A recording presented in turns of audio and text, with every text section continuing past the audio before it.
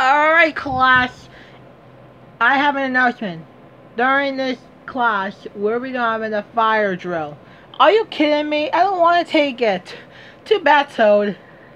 Like, too bad.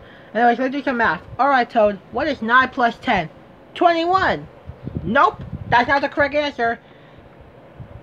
It's 19. Okay? Good. Now we are going to... Uh-oh. Alright, class. It's time to line up. Fire drills are so ridiculous. They're just jokes. Hey, guess what? What? Be quiet. This is ridiculous. Be quiet, my goodness! Okay, alright, we have everybody. All clear. Report back into the building. You have listened to us. Alright, everybody. Did well. All of which, except for Toad. Toad, you've been disrespected the entire drill. Go to the principal's office right now. oh, man. I knew he would be talking. I knew he would be getting in trouble.